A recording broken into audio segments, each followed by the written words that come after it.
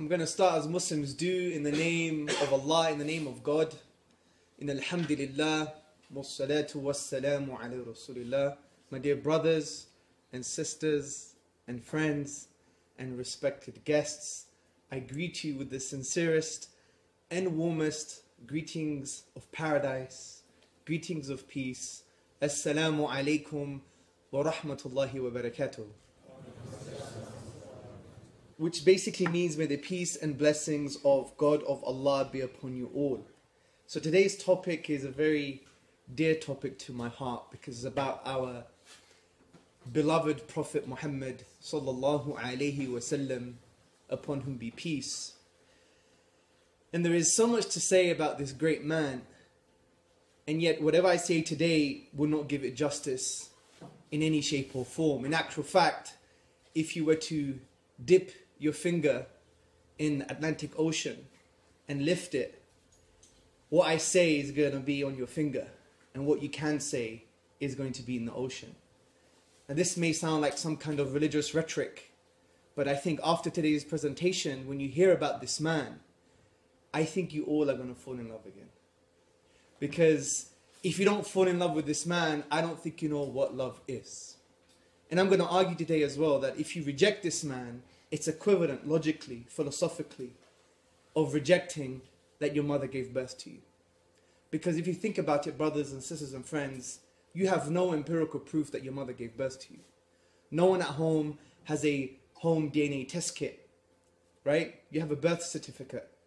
Even if you claim you have videos and photos, well, you're not the same now, are you?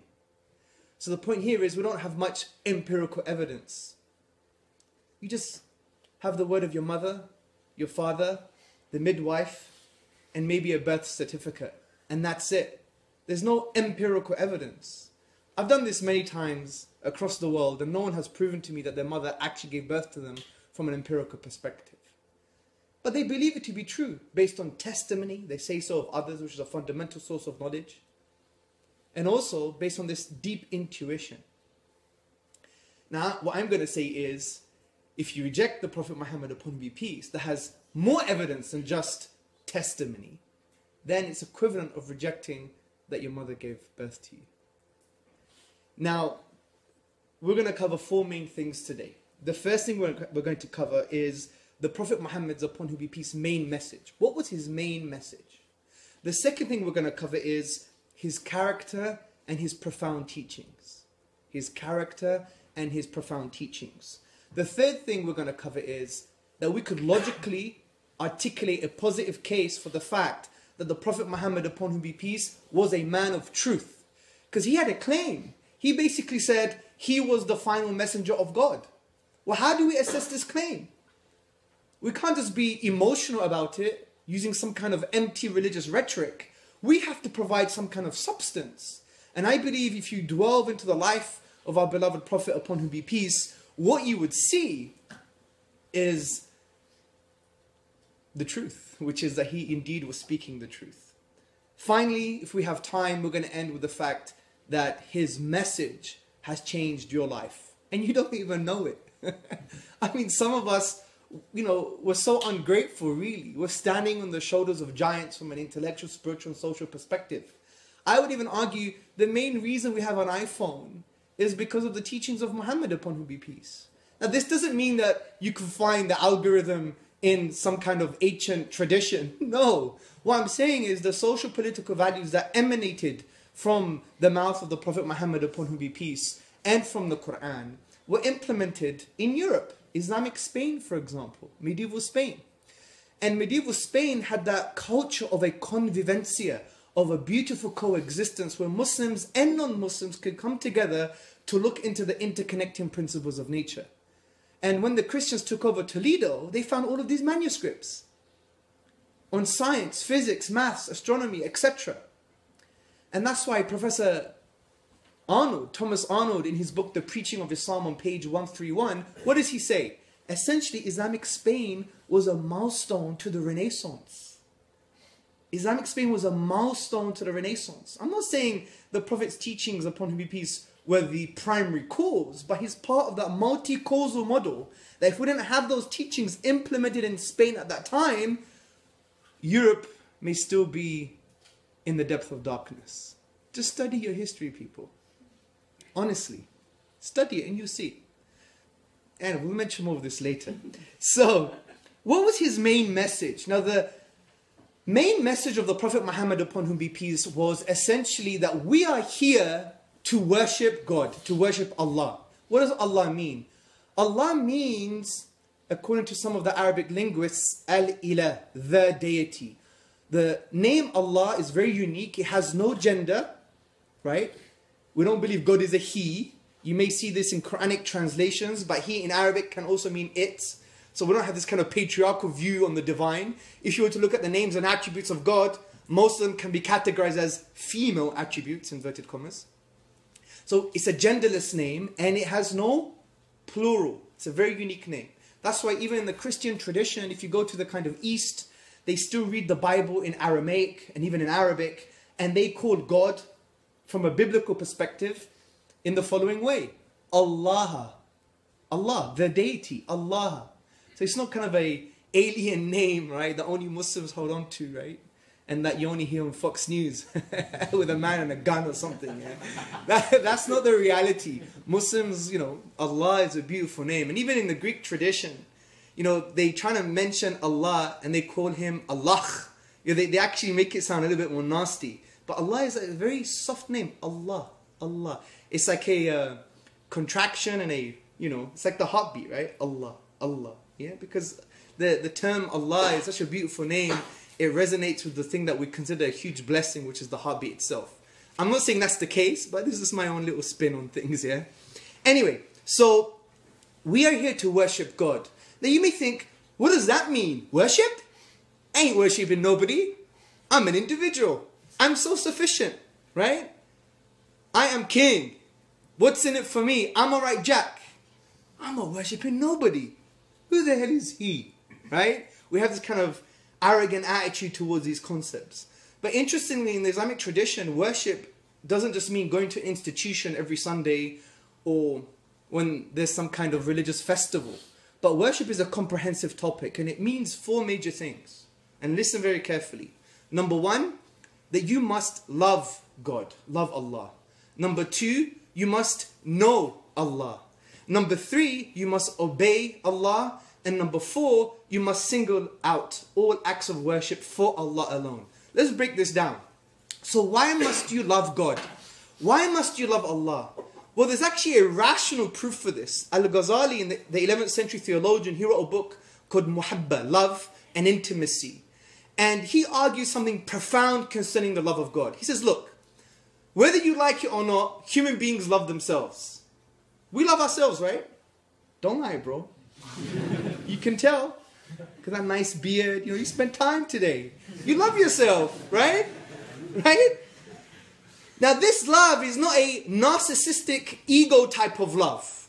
It's not a narcissistic ego type of love. It's the type of love that Erich Fromm talks about. Erich Fromm was the famous psychologist. He wrote the book, The Art of Loving.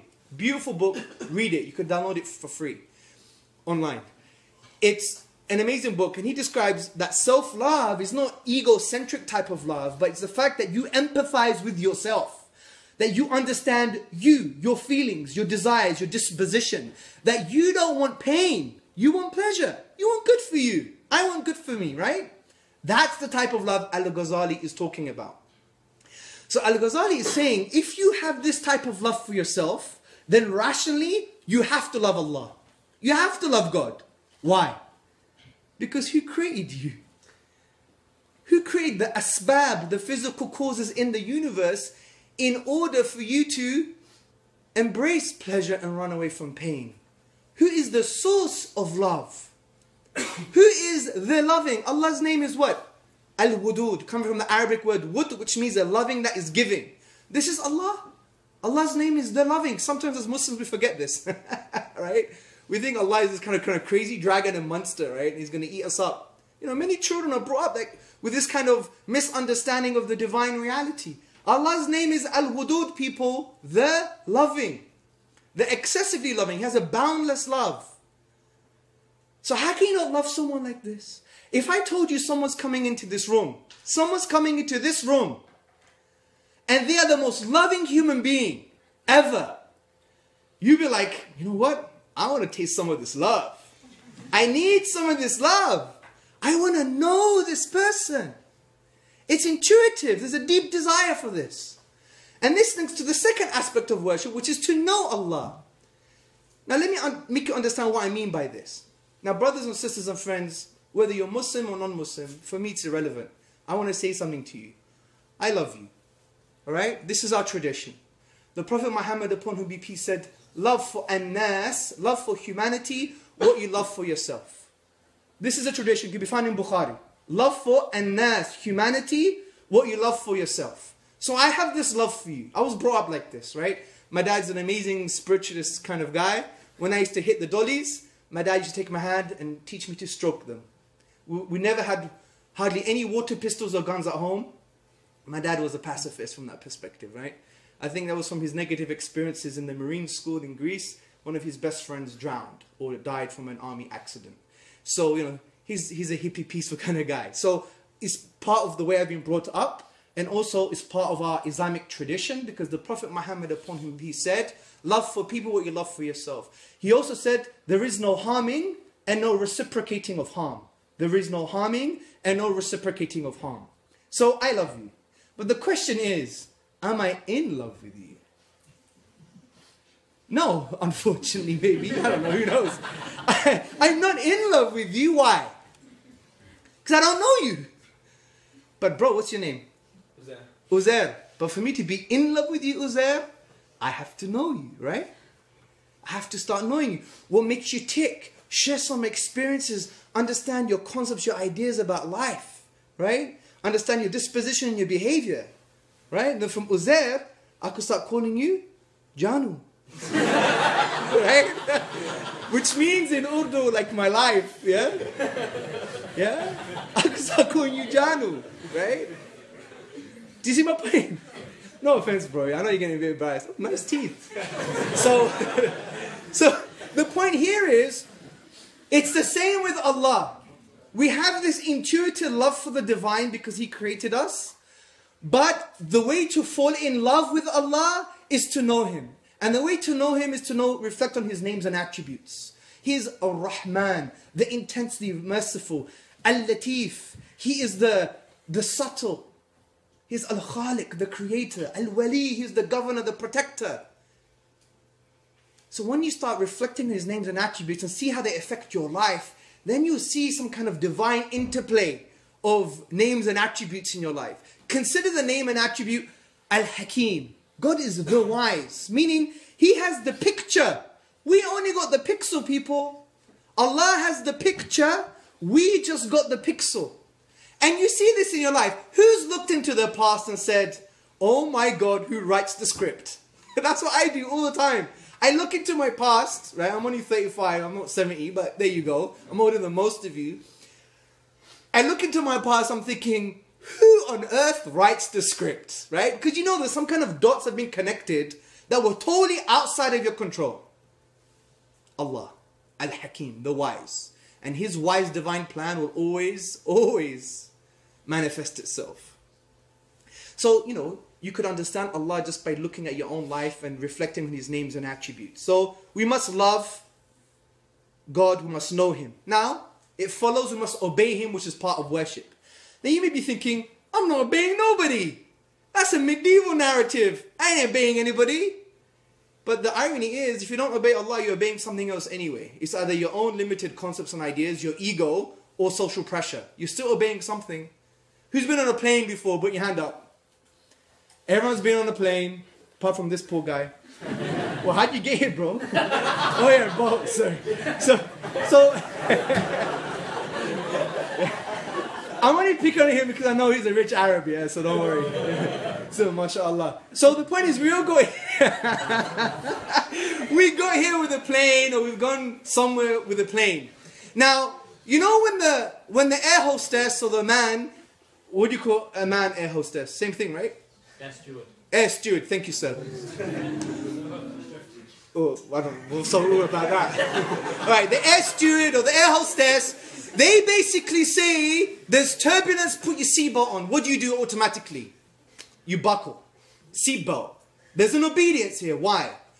Because you don't have the knowledge they have. They understand how planes work, how turbulence works. They know about your safety more than you do. So you have an obedience. It's a rational type of obedience because you know they're the authority in this matter. You're not the authority. Well, that's the kind of obedience with Allah.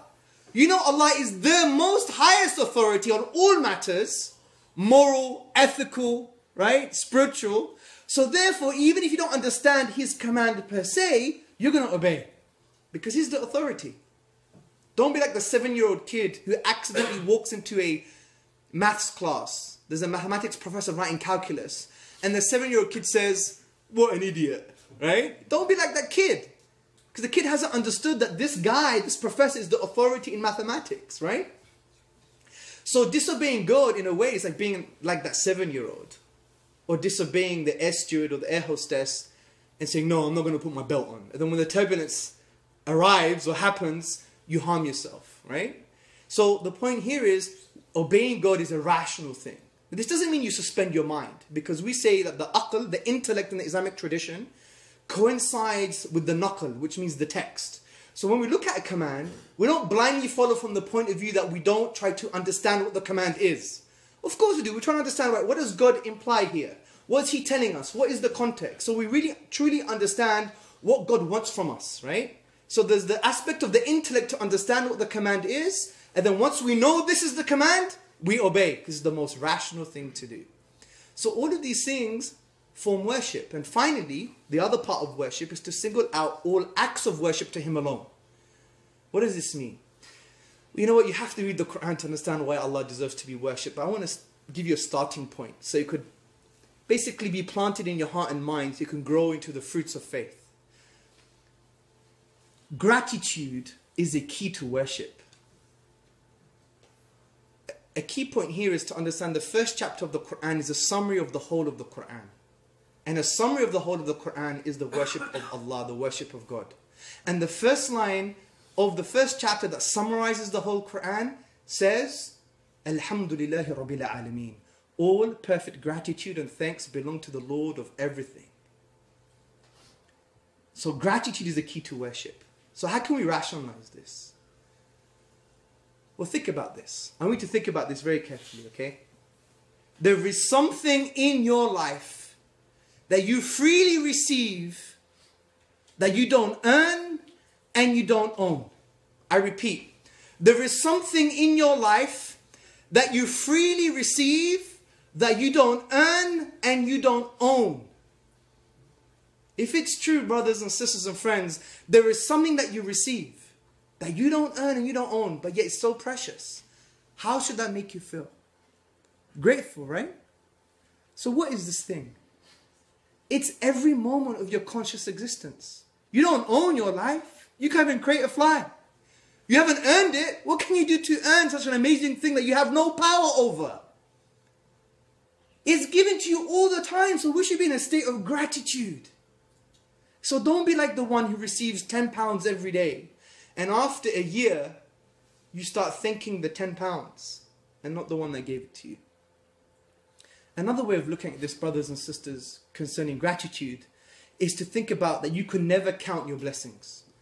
The Quran says this. Allah says in the Quran, you can never enumerate the blessings of Allah, the blessings of God. And I tried to find an example to bring this to light, and I think I found one. You know what it is? Your heartbeat. Your heartbeat.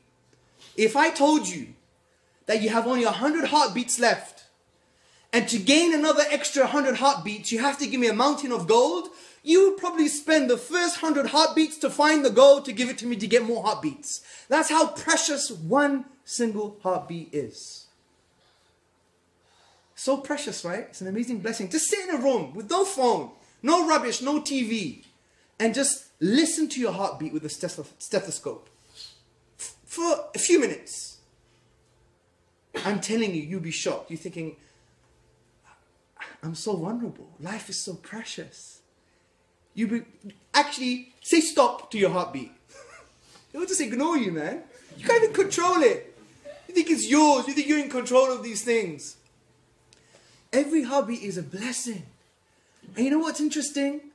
you can never count all your heartbeats in your life. As the Quran said, you can never enumerate all of your blessings. And that's so true.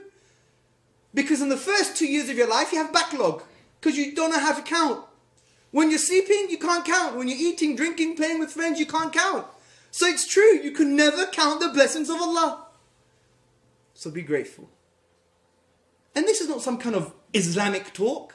This is universal spiritual language. If you go to any bookstore and pick up any secular spiritualist book, they say, You want to be happy? Then be grateful. So gratitude is the key to worship. I wanted to spend time on this, brothers and sisters, so you know what his key message was, is the worship of Allah. And just to end this section, remember, if you're not worshipping Allah, you're worshipping something else anyway. Because think about this. If I asked you what you love the most, what do you want to know the most, what do you obey, and who are you grateful to all the time, well, that's your object of worship. We all worship something else. Allah, society, politician, musicians, Justin Bieber, right? How many 20 million followers on Twitter? Right? Oh, sign my hijab. You know, sign, sign, sign my blouse, right? I don't believe, you know, Justin Bieber's following me on Twitter. Always want to get to know Justin, reading the magazines, loving Justin, right? This is worship. She's not even a very good singer anyway. Wait, I say something funny? So, you have to understand you're going to worship something else anyway. And the Quran mentions this very powerfully. Chapter 39, verse 29. And listen to this analogy from your Creator.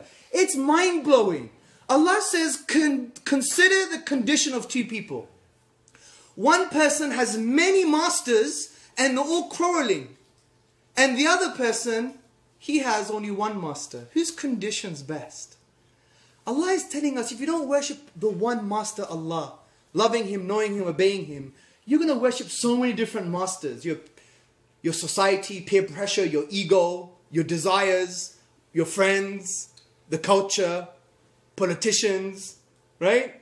Celebrities, whatever. You're going to be worshipping something else. But Allah is saying, Allah is the one who knows you better than you know yourself. Allah knows Hamza better than Hamza knows Hamza. And Allah loves Hamza more than my own mother does. That's what the Prophet Muhammad upon him peace taught me. So make your choice. You worshipping all these things from the definition that we just discussed, or you worshipping the worshipping the one that deserves worship. So that was his main message. Now let's go to his character and his teachings. Now, I want to start off by talking about how the Prophet Muhammad upon whom peace dealt with dialogue and discussion because it's so important. We're at university here and we need to teach and remind ourselves about what's the Islamic ethic of discourse. Now, very interestingly, the pharaonic character in the Quran is the worst character. He's like one down from Satan. yeah? Pharaoh, he thought he was God. He was the greatest polytheist because he attributed divinity to himself. And through that polytheism, he oppressed people and killed children, and he was an oppressor. He's one of the worst characters. But what does Allah say to Moses? What does Allah say to Moses, who was the prophet dealing with Pharaoh? What does Allah say to him in order to treat him nicely and to talk to him in a good way? This is what Allah says. Allah says, and speak to him mildly. Arabic, layyina. Speak to him mildly so that he may accept admonition, the advice. This is the worst creature, right? The worst tyrant and oppressor. He's worse than any oppressor you know today, from the west or the east. He's the worst. And yet, what does Allah say to Moses? Allah says, Layyina, speak mildly, compassionately to Moses. The classical scholar Imam Al Qurtubi, he said concerning this verse, if Moses was commanded to speak mildly to Pharaoh, then it is even more appropriate for others to follow this command when speaking to others and when commanding the good and forbidding the wrong. Do we do this though? You know, we're so quick to go like, ah, you know, evil dictator, oppressor, right? But we forget the etiquette of the Quran, which is even to the worst type of people to speak softly and compassionately. These are the teachings of the Prophet Muhammad upon whom be peace. These are the teachings that he carried because he was the carrier of the message of the Quran.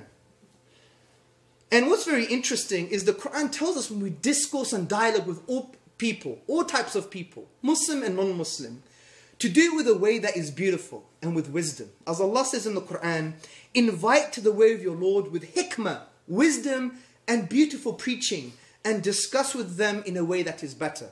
The famous grammarian and classical scholar Imam Zamakhshari, he said, discussing with them in a way that is better means using the best type of argumentation, which is the method of kindness and gentleness without gruffness and without any harshness. And we saw this in the softness of the Prophet's heart. Allah speaks to the Prophet and he says the following words And by the mercy of God, you dealt with them, his companions, gently. Had you been severe and harsh hearted, they would have broken away from you. Now, this is very key for you to understand. When it comes to discourse and dialogue with other people, if people are not flocking towards you, there's something wrong.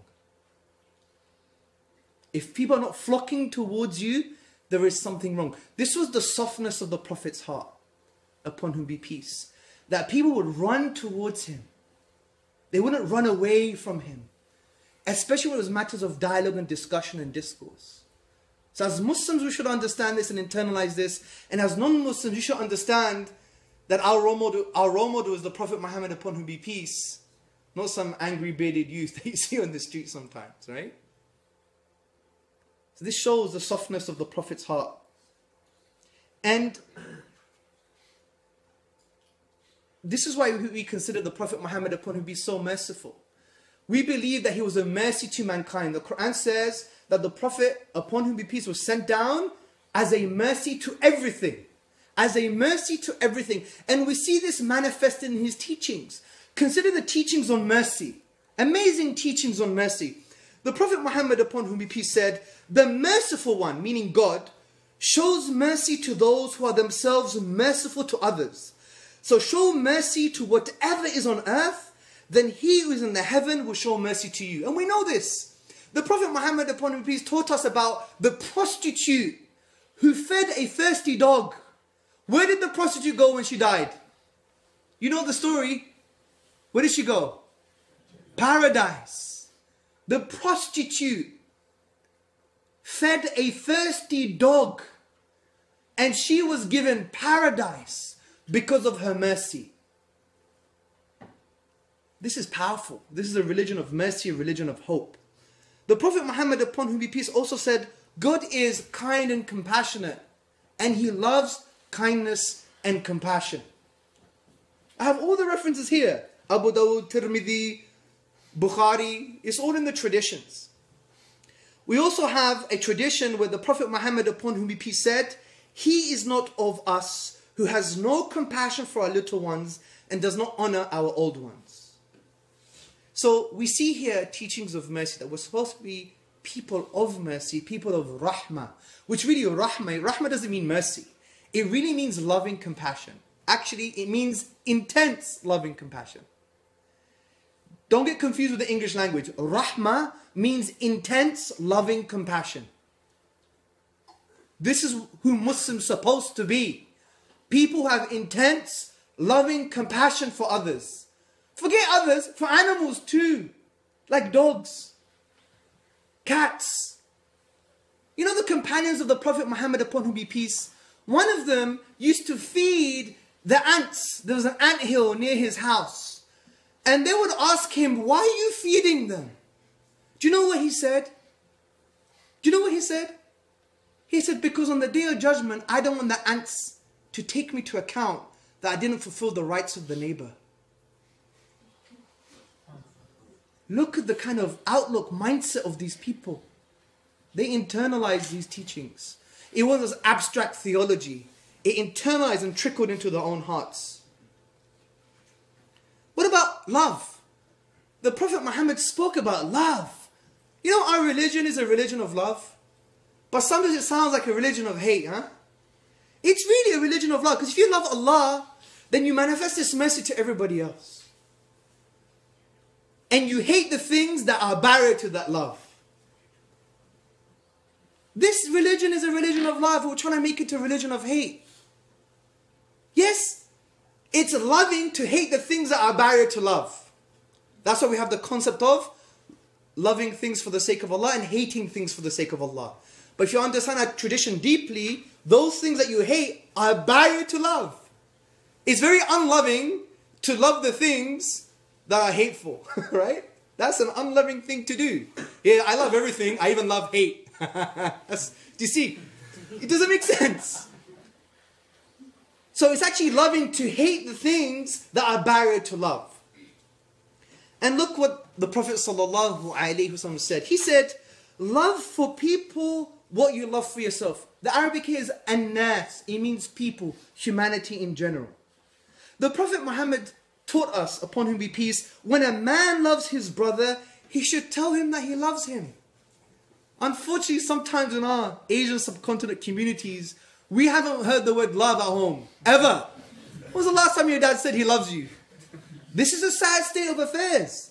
We've basically neglected this profound practice of our Prophet, which is compassion and which is love. That's why we end up being sometimes, frankly, and I do apologize, a bunch of scumbags. Because we're part, you reap what you sow. You reap what you sow. And then all we learn is to point the finger. And then we forget that three fingers are pointing back. We need to build houses of love, houses of compassion. This is the home of the Prophet Muhammad upon whom be peace. You know, you command justice, you command, you know, we have to obey Allah and you command Islam around the world, but yet it's not even at home. you think God's stupid? You think God is stupid? That's what you think, right? You think we always point the finger. Look at what's happening in Syria. Look what's happening at home. Islamophobia, all of this rubbish. But you got racism at home. You got no love at home. You got tribalism at home. You got ego at home. You got oppression at home. And you think you're going to solve world problems. I'm sorry. you guys, we're messed up, man. You know, we use a spyglass. It's time to use the mirror. Honestly, we use the spyglass, it's time to use the mirror. Al-mu'minu miratul mu'min. The believer is a mirror of another believer. When you see blemish on the mirror, you don't wipe the mirror, you wipe yourself. Inna Allah la Indeed, Allah will not change the situation of a people until they change anfusihim, what's within themselves. This is so true. This is so true. We always demand from others. Where's the Muslim rights? Get lost. Get lost. When was the last time the Prophet asked for his rights? And he deserves more rights than you. If you study his tradition, he never demanded anything from himself, not even food. He was a man of giving other people their rights. But we would say, where's my rights? Where's my... You need to raise the spiritual moral bar, people. Where's your rights? I'm not denying them for you, don't worry. But what I'm trying to make you understand is that a Muslim is one that doesn't care about his right. He cares about others. He's selfless. He understands he's not an individual. He's a individual. He's part of the whole society. Because your birth was dependent on nearly an infinite number of variables that were external to yourself. So you understand how interconnected human beings are. Not like, oh, he's an Islamophobe. Oh, what's happening to us? What's happening to you? Well, here, this is important. Have the right outlook, the prophetic outlook. Sunnah, brother, which means the prophetic way. Follow the sunnah. Okay, where's the psychology of the sunnah? Where's the psychology of the prophetic way? Which is we're going to tolerate people's harms. We're going to have forbearance. Forbearance means patience against aggression. Patience against aggression at the time of calamity, at the time of aggression. And I'm going to talk about forbearance in a minute, but let me talk to you now about the humility of the Prophet Muhammad upon whom be peace. He said, Do not exaggerate in praising me as the Christians praise the Son of Mary, Jesus, alayhi salam for I am only a slave. So call me the slave of God and his apostle. It wasn't about him, it was about the message. They asked his wife, Aisha, may God be, may God be pleased with her, what did the Prophet Muhammad upon him peace do at home? And look what he said. Look what she said. He was like any other human being, cleaning, mending his garment, milking the goat, mending his shoes, serving himself, and being of service to the family till he hears the call of prayer, then he goes and pray. How many Muslim men in our own homes do we do these things? You would never milk a goat. milk a goat, there'll be divorce at home. Serve your wife? My God, it's almost impossible, yeah? You know, we have this kind of patriarchy at home, isn't it? You know, we need to start doing some things, you know? As best as we can. And by the way, I'm not perfect either, yeah? Because I'm not saying I do these things. So this is a lesson and an advice to myself too. But it shows that the Prophet Muhammad he was a human being, not a human doing. He was in a state of being that was a state of mercy to others and to his family, mending the goat, serving his household. The Prophet Muhammad, upon whom be peace, once saw a man who was trembling with fear because you know he's the Prophet. He was trembling with fear like this. Listen to the words of the Prophet. He said, Relax. I'm not a king. I'm the son of an Arab woman who eats jerked meat. Meaning I'm just like you. In a contemporary sense, would be relax, bruv. I'm just like you. I go to KFC. Yeah? Do you see my point? He's, he's trying to show that he's, he was humble. Yeah, he, he used to make supplications about his own humility. He would say to Allah, Oh Allah, oh God, make me live humbly, make me die humbly, and gather me among the humble on the day of resurrection. And he was so modest from this perspective because if you study the book Shama'il Tirmidhi, which is about the characteristics of the Prophet Muhammad upon whom be peace, do you know what he would say? He would say, Oh, what a wonderful curry vinegar is. He used to dip his bread in curry, in vinegar, as a curry. If you had that as a curry, there'll be chaos at home. But this how amazing and modest and his level of asceticism is just phenomenal. Oh, what a wonderful curry vinegar is. He used to dip bread into vinegar as a curry. You know, sometimes for two months or for months, he would be on aswadain. You know what that is? Just water and dates. You try living on water and dates for a month. And we believe this was the best of all creation. And he taught us in the famous tradition that it's only a few morsels that is enough to keep your back straight. And if you're going to eat, then it's one third for food, one third for liquid, and one third for gas, essentially, for air. You know, this prophetic tradition, we cut it in half. We forget the first part. We think, yeah, I'm going to eat, I'm going to follow the prophetic practice. One third food, one third liquid, one third air. No, no, no. Listen to what the prophetic tradition says. A few morsels are enough to keep your back straight. And if you're going to eat, then do the following. Which shows that overeating is actually a spiritual disease. You know, it's a very bestial thing, isn't it? It's to eat all the time and graze. That's what animals do. It's true, isn't it, right? And that's why one of the worst things to fill is your own stomach. The Prophet Muhammad upon whom be said, the one of the worst vessels to fill is your own stomach. We overeat as human beings. You know, I heard this from a sheikh on YouTube, and he he no, but he, he there's nothing wrong with that. It's just a nice quote. And he made a beautiful point quoting another sheikh. and he said, what would you say about the person who eats, eats once a day? And the sheikh says, the scholar says, he is of the anbiya, of the prophets.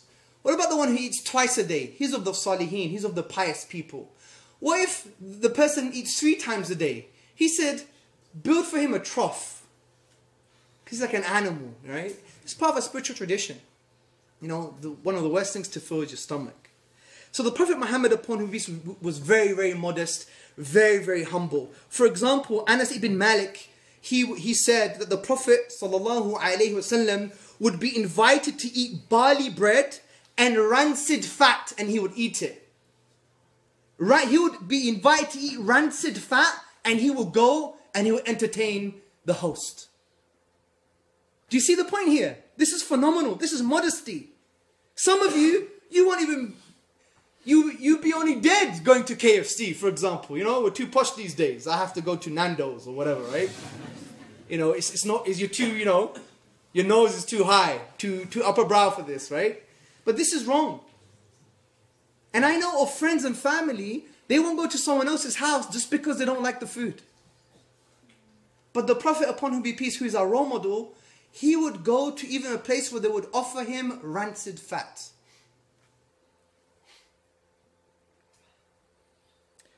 Following on from this, we understand that the Prophet, upon whom be peace, not only was a man of mercy, love, and modesty and humility, but he was a man of justice. For example, the Prophet, upon whom be peace, if you study his treaties with other minorities like the Christians and the Jews, you'd be like, this is phenomenal. This predates any modern conception of treaties. For example, if you study the 16th century Reformation and the 80 Years' Wars and the 30 Year Wars and the massacre on St. Bartholomew's Day and the treaties of Westphalia and all of these things, right? You don't understand that Islam had this 1500, sorry, nearly a thousand years before. The Prophet Muhammad, upon peace, he understood that there were different people living amongst him. And they had amazing, just, loving, and compassionate treaties with them, which predates any Western conception of treaties. Study this for yourself. When the Prophet Muhammad, upon whom peace, establishes amazing justice and harmony, we, I'm saying we because I'm a European Brit with a Greek background, we were still basically drinking other people's blood. This is a historical fact. It's not rhetoric. Go read it for yourself. And I want to read you one of the treaties. It's called the Treaty of Najran. It's for the Christians of Najran. And it, and it's as follows. And what's interesting is that the people of Najran, they were persecuted by their own Christians, the Byzantines. that was the irony. But yet, Islam came to help these people. So here is the treaty. The lives of the people of Najran and its surrounding area, their religion, their land, their property, cattle, and those of them who are present or absent, their messengers and their places of worship are under the protection of Allah and guardianship of His Prophet. Their present state shall neither be interfered with, nor their rights meddled with, nor their idols deformed. Take note, ISIS. No bishop shall be removed from his office, the intention being that no change in whatever state everyone is shall be made. Neither the people shall be punished for any past crime or murder, nor shall they be compelled to do military service. If any of the people of Najran demands the rights, justice shall be done between the plaintiff and the respondent neither oppression shall be allowed to be perpetrated on them, and they shall be they shall not be permitted to oppress anyone. This is phenomenal. I don't think you find any of these writings in that period. Taking care of minorities, understanding issues concerning treaties. Now, what's very important is to understand not only the justice of the Prophet Muhammad upon him be peace, but the fact that he had hilm, forbearance, this is kind of the kind of landmark, the landmark of the character of the Prophet sallallahu alaihi wasallam. He had so much forbearance, patience with aggression, patience with people who wanted to harm him and, and, and, and essentially murder him and kill him and annihilate him. For example, we know that the Prophet had to go to battle. The Arabs were crazy people at that time. They would fight over a camel. They had a 40 year war over a camel. A camel, people. Yeah? They would fight over camels, spill the blood of the fellow human beings over an animal that they would slaughter anyway to eat. The irony. They would fight over camel. The egocentrism in that society was like, was it was like it reached the summit. Now, the Arabs wanted to annihilate the Muslims and the non-Muslims that were living together peacefully. They wanted to annihilate them. So the Prophet, upon him be peace, had to protect himself. So he engaged in war. And his tooth had been broken and his face was cut and his blood was dripping. And his companions asked him to curse the aggressors. The companion said, Go curse the aggressors because the dua, the supplication of a prophet will be answered. Even in that state of crisis, of physical harm, of being endangered, because these polytheist Arabs were hell bent on annihilating the Muslims and the non Muslims of the society. What did he say? This is what he said. I was not sent to curse, but I was sent as a summoner and as a mercy. Oh God, guide my people, for they do not know. This is our Prophet sallallahu alaihi wasallam. Anas ibn Malik, he said that I served the Messenger of Allah for 10 years and he never said to me once off he did not say about anything I had done, why did you do it? Or about anything I had not done, why didn't you do it? Now let me give you a, a test. Spend a year with someone. Your children.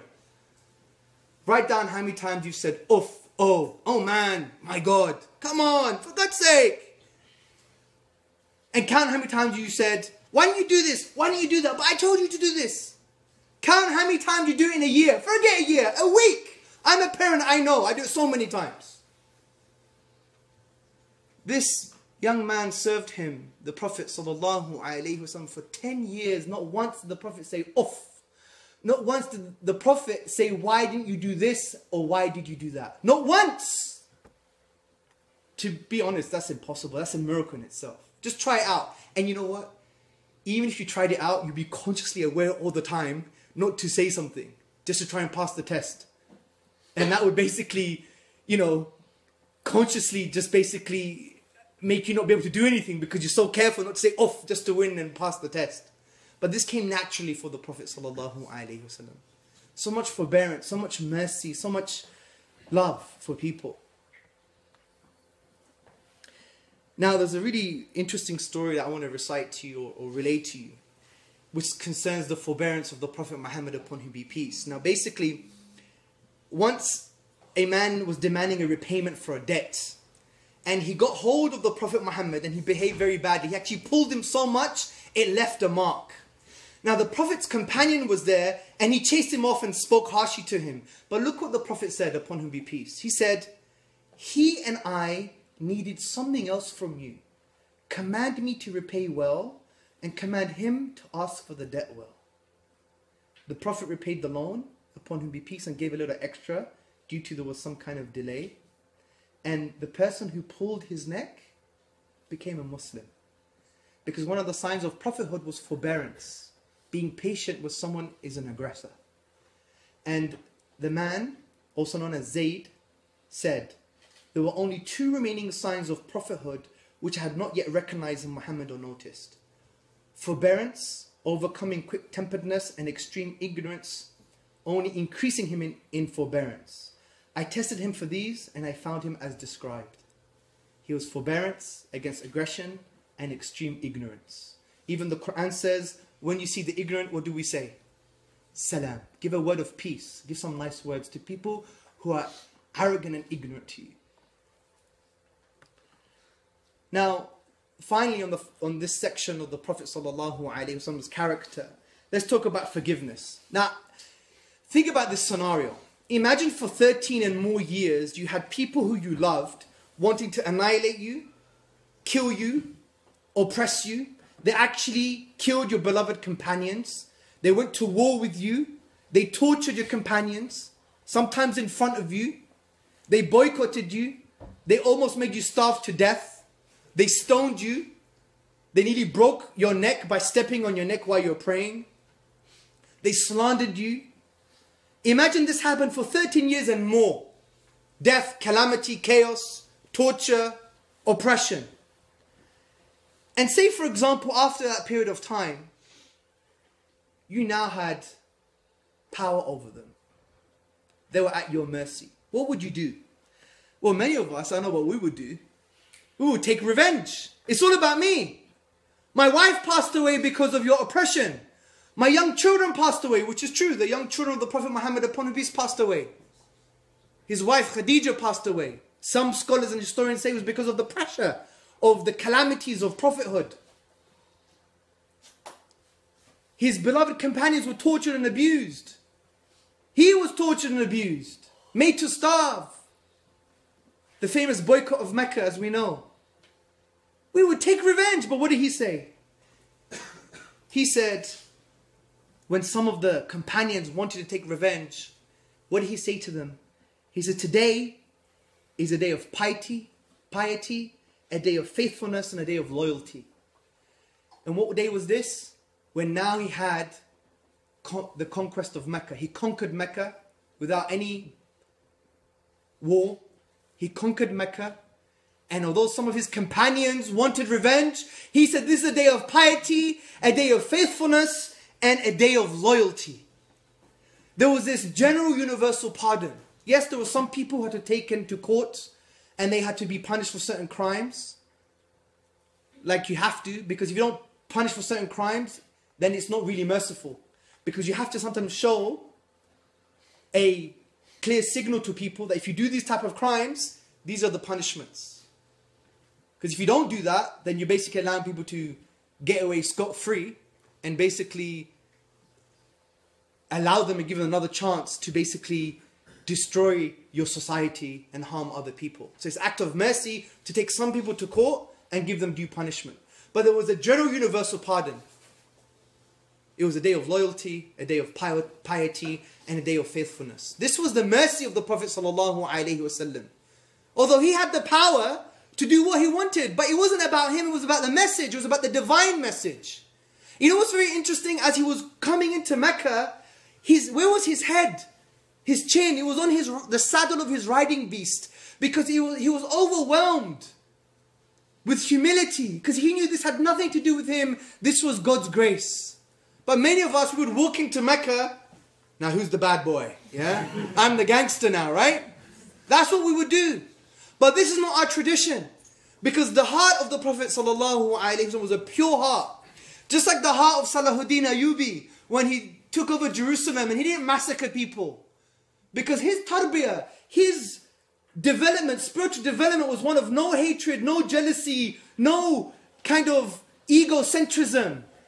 And you don't do these actions. You don't, you don't slaughter people if you have that type of heart. Their hearts were in the right place. So the Prophet ﷺ was a man of forbearance and a man of mercy and forgiveness. Now there's so much more to say, but let me end this section by now moving on to the other section, which is about how do we logically prove that the Prophet ﷺ was actually speaking the truth. Now, this is where the logic and rationality comes in. The Prophet Muhammad, upon whom be peace, he had a claim. He said that he was the final messenger of God. Well, let's assess this claim together by understanding his life. Let's do this together. So, the first assessment is well, maybe he was lying. Maybe him saying that he was the final messenger of God is based on lies. We know this can't be the case. The first point is that the people who hated him the most still called him the trustworthy. The people who hated him the most, who want to annihilate the message of, of, of oneness, of monotheism, they, they still called him the trustworthy.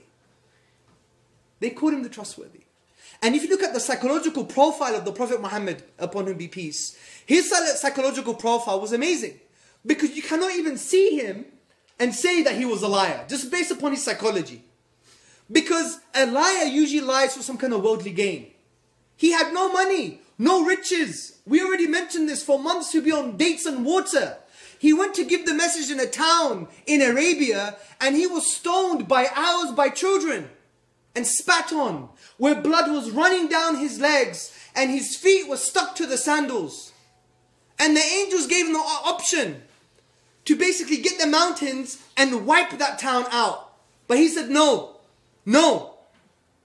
Because he wants people from this community to end up worshipping Allah and praying. That was the mercy of the Prophet upon whom be peace. He had all of this calamity. How can you call him a liar? He gained nothing. He just wanted people to admit their own internal reality, what they know, which is there is no deity of worship but the deity but God, but Allah. Not worshipping myself, not worshipping my ego or society, but worshipping the one that created me, the one that deserves to be worshipped. The Prophet Muhammad, upon whom be peace, was offered women, power, land, riches, gold. He rejected all of this just for the simple message worship God, don't worship yourselves. Worship God, don't worship idols. Worship God, don't worship your ego. He gained nothing. Absolutely nothing. He went to war. He was fought against. He was so hungry because of the boycott of Mecca, he had to tie two stones to his stomach. His wife passed away, his children passed away, his companions were murdered in front of him. And you're saying he maintained a lie? For what reason? Wallahi, by God, to claim he's a liar is to claim your mother never gave birth to you. Because look what he went through. Look at the evidence at hand. It is no wonder Montgomery Watt, the emeritus professor in Arabic and Islamic studies, he said the following in his book Muhammad at Mecca. He said, His readiness to undergo persecution for his beliefs, the high moral character of the men who believed in him and looked up to him as a leader, and the greatness of his ultimate achievement all argue his fundamental integrity. To suppose Muhammad an impostor raises more problems than it solves. Because if you call this man an impostor, you got to deny your mum gave birth to you. Now, one would argue, fine, maybe he wasn't a liar, but he was deluded, which means that he thinks he was speaking the truth, but it was based on a falsehood. Well, this is not true at all because when we analyze the life of the Prophet Muhammad upon be peace, we will see that there were so many incidents in his life that he could have used to support his delusion. For example, there was a solar eclipse. At the time of the solar eclipse, what happened? His son Ibrahim passed away. The Arabs thought, You must be the Prophet. Because look what God did. He made the solar eclipse happen and your son passed away. How did the Prophet reply?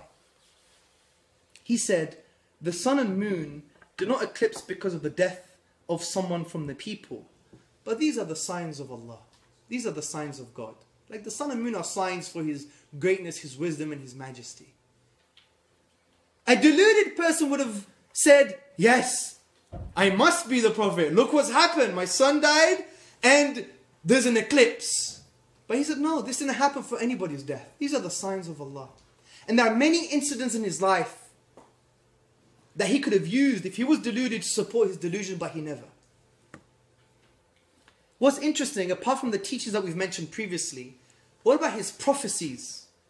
Do you know, if you study the prophecies of the Prophet Muhammad upon whom be peace, you'd be like, wow, how, how can you not say this person is a prophet? He must be a prophet. Now listen to some of his prophecies. Now, 600 years after the death of the Prophet Muhammad upon whom be peace, the Mongols invaded Muslim lands. Now they were an eco catastrophe. They would kill everything. yeah, even the kids would kill. The horses would kill. They were like an army that just like ravaged everything. They burnt books, spilled bloods. They ransacked Baghdad. It was just absolutely full of bloodshed. And this was around 1258. Now, what was interesting is that the Mongols were non Arabs and they had flat noses, small eyes, and their boots would be made of hair. The Mongols had fur over their boots and, they, and it used to be called degti. Degti. Now, this is 600 years after the death of the Prophet Muhammad. And look what he said. He said, The hour will not be established, meaning the day of judgment won't come. The hour will not be established till you fight from the, among the non-Arabs. They would be of red faces, flat noses, small eyes. The face would be like shields, and the shoes would be of hair. If that's not the Mongols, then I'm from Nigeria. Another prophecy which I find amazing and fascinating, which is the competition in the construction of tall buildings. A man asked the Prophet Muhammad upon whom be peace, now tell me of the hour. Now we know, we know this man was the angel Gabriel. The Prophet replied, the one asked knows no more of it than the one asking. Then he said, tell me about its signs. And then he said that you see barefoot, unclothed Bedouins competing in construction of tall buildings. This is very interesting. The Arabs at the time would build in the ground because it was so hot. It's cool if you build in the ground. If you look at the civilizations around the time of the Prophet Muhammad upon whom be peace, it was the Byzantines and the Persians. They would build the buildings, right? But the Prophet Muhammad upon whom peace says that it would be the barefoot, unclothed desert Arab that would compete in tall buildings. So it's quite irrational from an empirical perspective to even make that claim. And what's interesting, only recently in the last, what, 50, 60 years, that you had the barefoot, unclothed Bedouin Arab now building high buildings. You have the tribes, the Bedouins of UAE building the highest building over 800 feet. It's called the Burj Khalifa. And when it was finished, the Saudis, another competing barefoot, unclothed Bedouin tribe, in the, with regards to the origin, basically announced that they're going to build a taller building, which is one kilometer high. They're barefoot, unclothed Bedouin Arab competing in tall buildings. Just recently, 60 years ago. There are so many more prophecies, by the way. There are other prophecies, for example, where the Prophet, upon him be peace, said the time would not come until they would basically have piercing holes in the mountains of Mecca. Right? Piercing holes in the mountains of Mecca. Go to Mecca. I was I, I went to Hajj, the pilgrimage, two years ago, and you see you walk through the mountains. There's big, huge holes in the mountains. and They've made them for like walkways and runways or whatever you call it, right? So many other prophetic traditions. So many. Just study them for yourself. There's another prophetic tradition that says that dishes will speak. you know, satellite dishes they communicate. Dishes will speak. Another one I forgot the Arabic term, but it's the distance between your thumb and your finger that people will talk between their thumb and their finger. This is the universal sign for what? It's not a banana, it's a phone. yeah? You know, there's so many amazing ones, and this is these are very clear. It's not like Nostradamus' so-called prophecies. If you study Nostradamus, so ambiguous, you know, you can interpret it 50 million ways. But these are very clear prophecies of the Prophet Muhammad upon whom be peace. So, from this perspective, his teachings, his psychological profile, the fact that he couldn't be deluded, his prophecies, that he couldn't be a liar or deluded. He must have been speaking the truth. It's no wonder Dr. William Draper, in the History of Intellectual Development in Europe, he said, four years after the death of Justinian, AD 569, was born in Mecca, in Arabia, the man of all men who exercised the greatest influence upon the human race, to be the religious head of many empires, to guide the daily life of one third of the human race, may perhaps justify the title of Messenger of God. In the last five minutes I have, brothers and sisters, let's talk about his impact. I already mentioned to you the concept of tolerance and coexistence with his Treaty of Najran. What about how he treated the most persecuted minorities in the world? Who are the most persecuted minorities in the world? They said it was the Jewish people, right? According to history. The Jewish people. But look how the Prophet Muhammad, upon him peace, treated the Jews. Look what the Jewish historian Amnon Cohen said in his book, A World Within. He's got a two volume book called A World Within. He's an academic. He said no one interfered with the internal organization or the external cultural and economic activities. The Jews of Ottoman Jerusalem enjoyed religious and administrative autonomy within the Islamic State. And as a constructive, dynamic element of the local economy and society, they could and actually did contribute to its functioning. This, the Ottomans, you know, if you study the Majalla, the kind of book that they had, these were the principles of the Prophet Muhammad upon whom be peace. Even the popular historian Karen Armstrong, she says the Muslims had established a system that enabled Jews, Christians, and Muslims to live in Jerusalem together for the first time. So this should give us some, some signs or some indicators and driving, you know, a driving force to look into the life of the Prophet Muhammad upon whom be peace. Look what the Prophet Muhammad upon whom be peace said in the Treaty of Medina with the Jews. It's amazing. He said, It is incumbent on all the Muslims to help and extend sympathetic treatment to the Jews who have entered into an agreement with us. Neither an oppression of any type should be perpetrated on them, nor their enemy be helped against them. This is our tradition, people. Rahma, mercy, justice, convivencia, coexistence dealing with minority rights way before me, us in the West even developed this, right? Christians were killing Christians like four, five hundred years ago. forget other forget other religions, right? You know the Jacobites they'll get annihilated by the Byzantines. The Greek Church was killing its own Christian people. Yeah, you know Christianity doesn't have a bloodless history.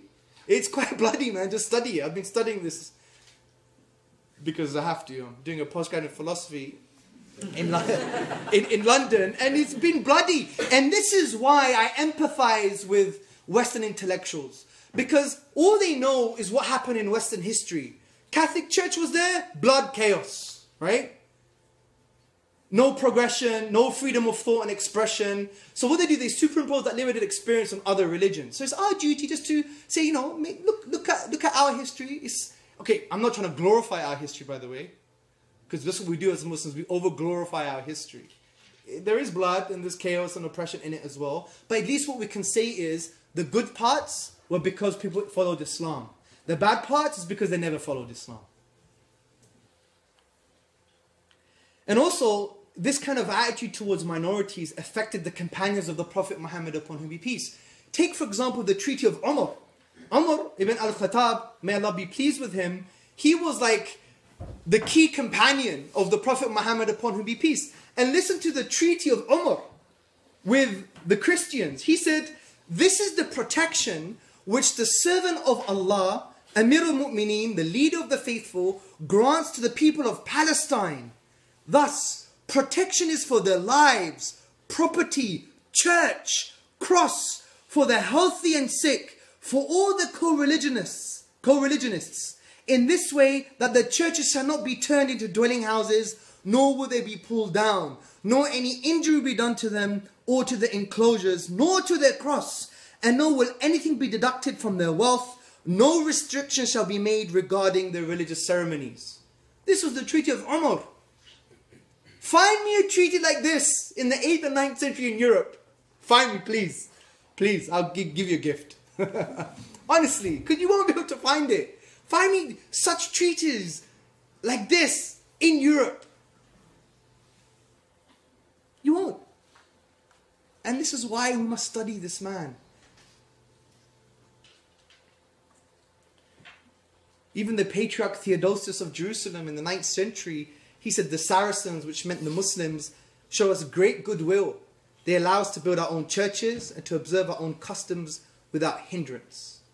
So this is the justice, the impact of the Prophet Muhammad. It resonates throughout history, from the 8th century to the 16th century and beyond. What about interracial cooperation? The Quran teaches us people who were created, we created you from a single man and a single woman and made you to races and tribes that you should recognize one another. In God's eyes, the most honored of you are the ones who are most mindful of Him. God is all knowing, all aware. The Prophet Muhammad, upon whom be peace, taught us all mankind is from Adam and Eve. An Arab has no superiority over a non Arab, and no non Arab has any superiority of an Arab. Also, a white has no superiority of a black, nor a black has any superiority of a white, except by piety and good actions. And it's no wonder the famous historian A.J. Toynbee said, the extinction of race consciousness as between Muslims is one of the outstanding achievements of Islam in the contemporary world. There is, as it happens, a crying need for the propagation of this Islamic virtue.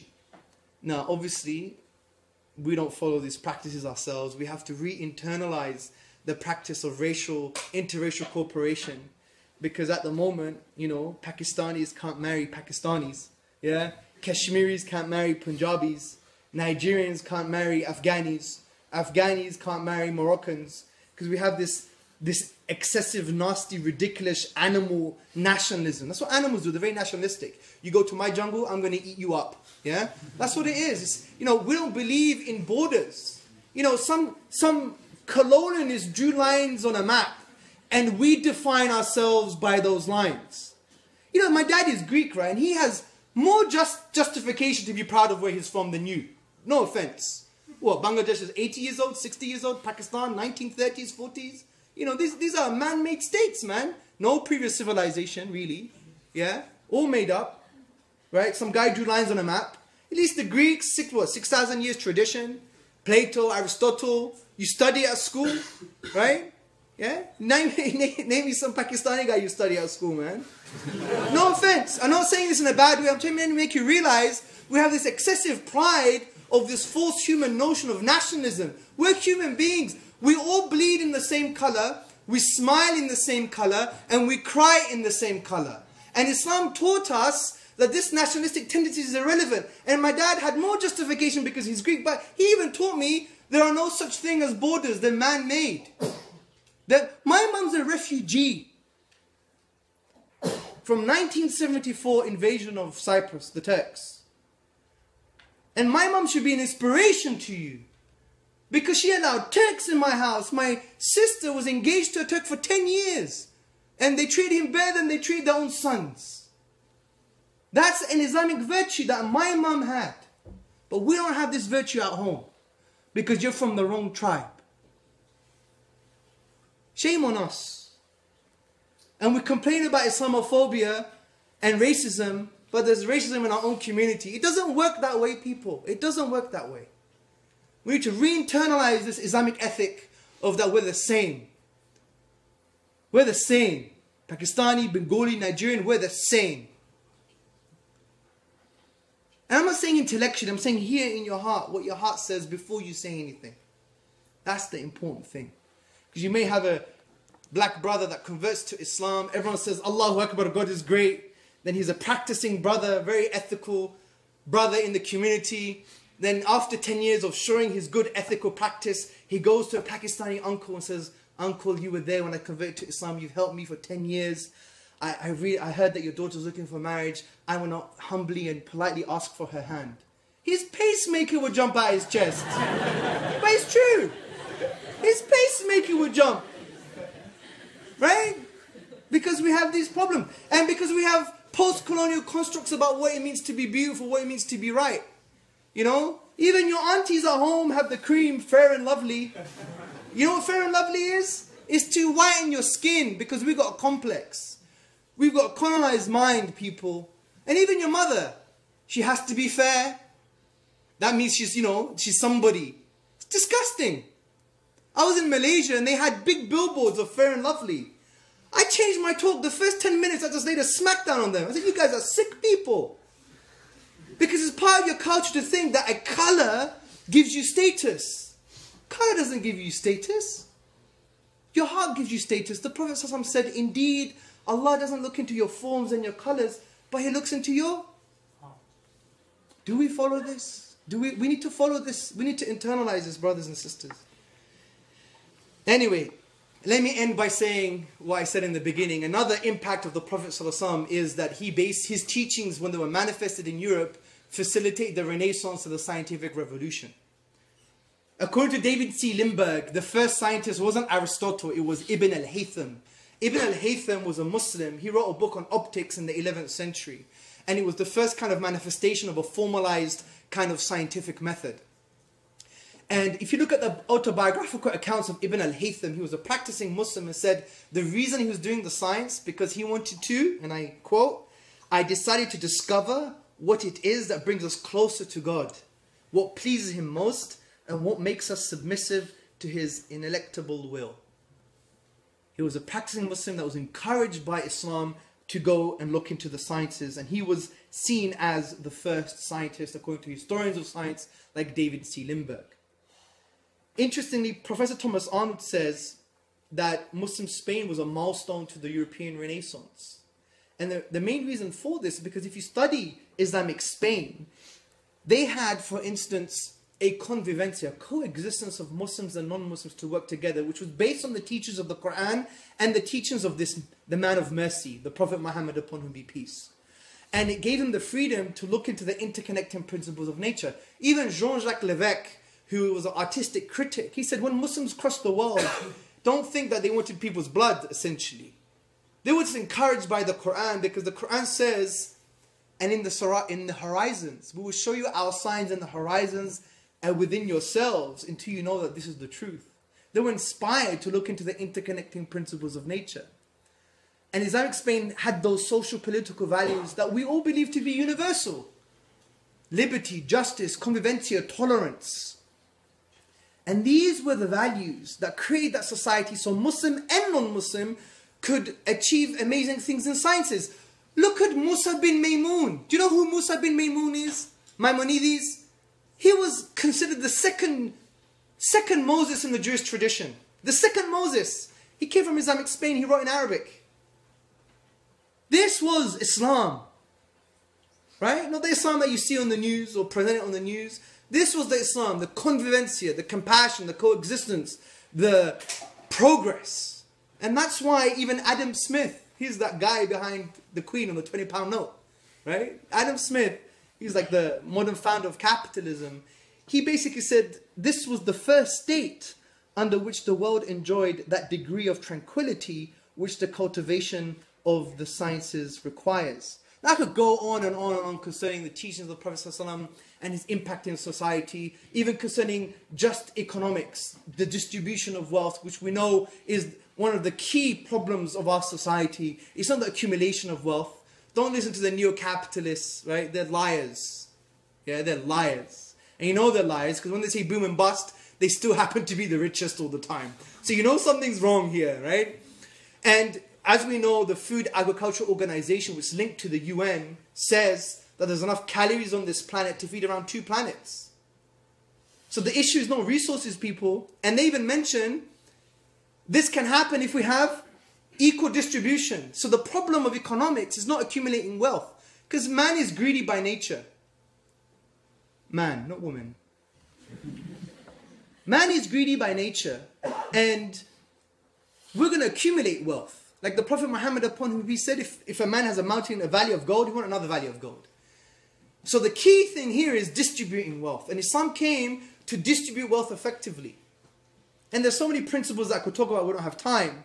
But I'll talk about one famous leader of the Islamic community, Umar ibn Abdul Aziz. And this really summarizes the prophetic teachings in the Quran on just economics. He said, O people, put wheat on the top of the mountains so the people don't say that we kept the birds hungry. These people were concerned about the birds being hungry. Imagine their fellow man. And that's why Umar ibn, ibn Abdul Aziz would write a letter to his governor in Basra, I believe, in Iraq. And he said, Look for the non Muslims in our society. Look for the people of the covenant, the non Muslims in our society. If they're poor, feed them, give them from their wealth. Umar ibn al Khattab, the companion of the Prophet Muhammad, upon whom be peace, what did he say? When there was a famine in Medina, he would walk the streets of Medina and he was caught by this woman, and this woman didn't really recognize him. And she was boiling stones or water to keep her children from not crying because to trick the children, make sure they fall asleep because they were really hungry because of the famine. And she said to him, not knowing that he was the leader, I'm going to take to account Amir al-Mu'mineen, the leader of the faithful. I'm going to take to account the leader of the faithful. Upon hearing this, what did he do? He didn't do a PR campaign or block her from Twitter. What did he do? He went back to the Bait al-Mal, the house of wealth. He collected foodstuffs and resources and wealth and he carried it all the way back to the outskirts of the city to give it to her. And on the way, his servant said, Let me carry my luggage for you. And he said, No, you're not going to carry my luggage on the day of judgment. And he went to the house. He gave the food to the point where he even cooked the food himself for them. And he slept nearby, not in his home. This, this was the ruler. He slept nearby so he could wake up in the morning so he could see the children smiling. This, is, this was our leadership. We pray to Allah that all leaders in the world have this type of leadership because it comes from a heart that has the right tarbiyah, that has the right kind of cultivation of compassion and mercy for all people. So to conclude, brothers and sisters, I know it's been a long talk, one hour, 17 minutes. But I thought it was very important because this is about one of the most amazing men to have, the most amazing man to have walked this, this planet. The Prophet sallallahu alaihi wasallam, upon whom be peace. He was a man of love, as we discussed, a man of mercy, a man of justice, a man of forbearance, a man of humility, a man of modesty, a man of tolerance, a man of dealing with minorities, a man of compassion, and a man of truth. Because if you study his life, then you know he couldn't be deluded, he could not be lying, he must have been speaking the truth. And to reject that today, brothers and sisters, I want you to take your smartphone and call your mom and say, Mom, I have to reject that you gave birth to me. So no, but it's true. I want you to do this because I've heard evidence today that is outweighs the evidence you can give me for the fact that you gave birth to me. And I'll end on this story. A few years ago, I was at Queen Mary University. I had a debate with Professor Graham Thompson. After debate, a very beautiful, his face was like light, half Serbian, half Greek kid came up to me. And he said to me, I've been reading about Islam and I'm relatively convinced, but I want to know more about the Prophet Muhammad upon him be peace. And then he was, you know, here and there. And you know what? I just became alpha Greek male, yeah? We break plates at weddings, yeah? And I just said to him, look, I'm to be very honest with you. Give me your phone. I said, here's my phone. I threw it at him. Call your mum. Because if you reject this man, be intellectually just. Be intellectually just. The logical implications you have to reject your mother. There's two things you have to do. Either reject your mother or reject the evidence I've just given you. Your choice. So he looked into the evidence, was discussed more, And on that day, he became a Muslim.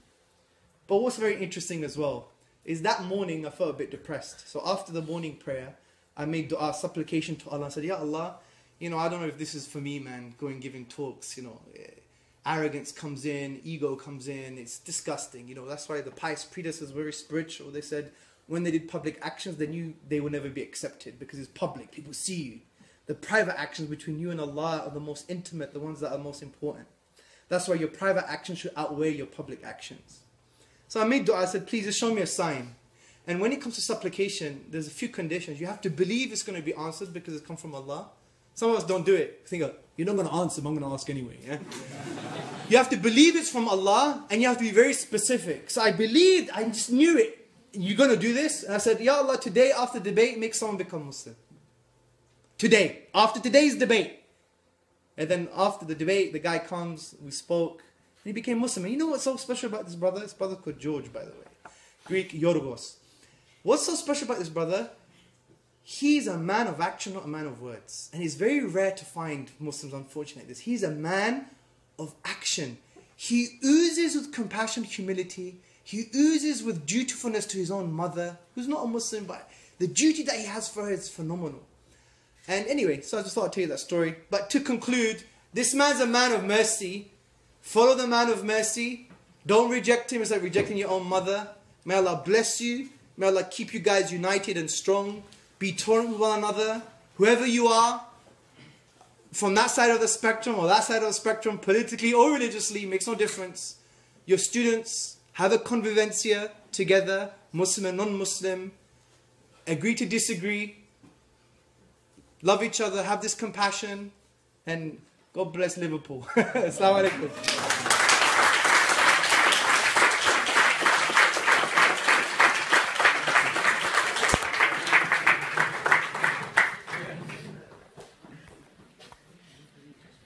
Jazakallah for a very lovely talk. Um,